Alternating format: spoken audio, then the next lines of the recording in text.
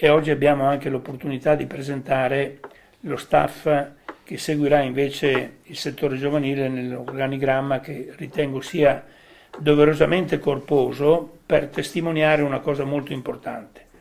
che contrariamente a quello che magari si poteva presumere o pensare, il settore giovanile ha una grandissima valenza da parte della società e da parte del mister Morgia con il quale ho avuto un contatto con la persona che adesso presenterò, a voi tutti ben noto, come sono noti anche gli altri componenti di questo organigramma perché già facevano parte in,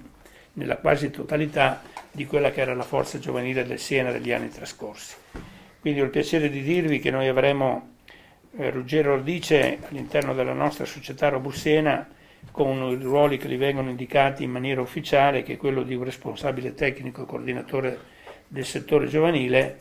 in stretta collaborazione tecnico-tattica e diciamo da un punto di vista anche organizzativo nel momento in cui alcune delle squadrette che sono sotto la prima squadra, parliamo degli juniores e anche gli allievi, si integreranno in una determinata maniera. Con lui abbiamo una persona che a Siena ha giocato, Argili Stefano,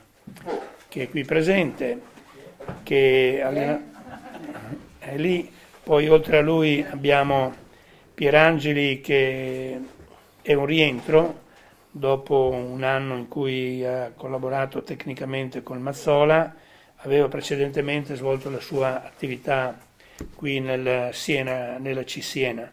Poi abbiamo Roberto Maffei, il quale avrà il compito di fare il preparatore atletico, di svolgere questo lavoro che già faceva gli anni trascorsi qui a Siena, assieme a Paolo Becchini che invece è il preparatore dei portieri.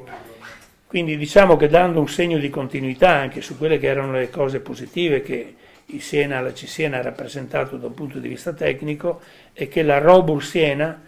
manifestando la volontà del Presidente Ponte, mia, di Morgia e di Radice, con il quale abbiamo avuto modo di parlare e di interfacciarsi in questi momenti, siamo in condizione di proporre grazie all'intervento sempre, non mi stancherò mai di dirlo, di quanto rappresentato alla Policlass in questo frangente, nel momento che ci ha dato questo tipo di opportunità.